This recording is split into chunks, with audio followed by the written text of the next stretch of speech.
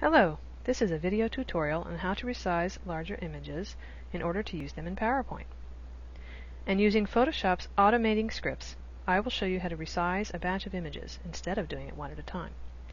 I have opened four images in Photoshop that I would like to resize for PowerPoint. You can resize larger batches than four images. Try 10, 20, or even more images. The graphics PC, where you will be resizing these images, has lots of memory, so it should be able to handle relatively large batches. With the batch of images that you want to resize open in Photoshop, go to File, Scripts, Image Processor. In the Image Processor window, under Step 1, make sure that Use Open Images is clicked. The images that are currently open in Photoshop will get resized for PowerPoint. If you are gathering images from multiple locations and folders, it makes the most sense to save all of your resized PowerPoint images in one folder. So you can add batches of resized images as you prepare your PowerPoint presentation. Under Step 2, click the circle to the left of Select Folder, and then click Select Folder to choose where you would like the resized images to be saved.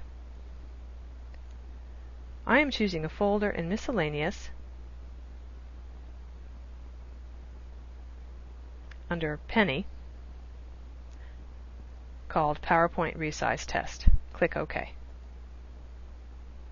Under Step 3, choose a file type of JPEG. Also, convert the profile to sRGB. sRGB is a color profile that is recognized by most monitors and other devices. It means that there is a better chance your images will be the color you expect when you present your PowerPoint. Save the image quality to the highest level of 12.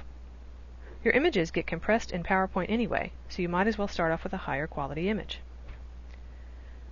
Check Resize to Fit, and set both the width and the height to 1024 pixels.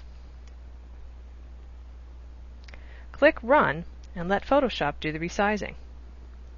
You can take a break or do other tasks while Photoshop works for you. After the batch of images has been resized, the larger files are still open in Photoshop. If you are done with them, you can close them. To see the end result, click File, Open, and navigate to where you had Image Processor store the images, which was on Miscellaneous, under Penny, PowerPoint Resize Test. You see that there a separate folder called JPEG was added. Photoshop did that. Open one up.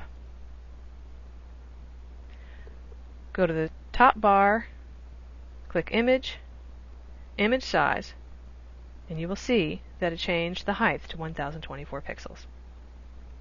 That's the video tutorial for batch resizing images for PowerPoint.